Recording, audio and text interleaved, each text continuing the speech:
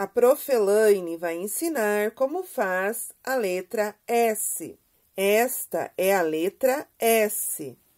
Começa lá em cima, faz a curvinha para um lado e depois outra curvinha para o outro. Muito bem, agora é a sua vez. Começa lá em cima, faz a curvinha para um lado e depois outra curvinha para o outro. Parabéns! Você fez a letra S. Vamos aprender o som da letra S. Vamos tentar de novo? Agora é a sua vez. Muito bem!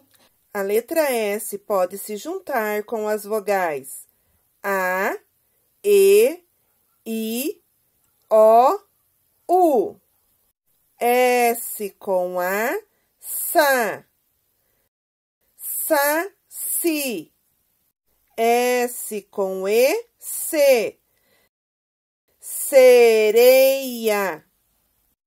S com I, si. Sino. S com O, so. Sofá. S com U, su. Suco. Agora é a sua vez. Beijinhos!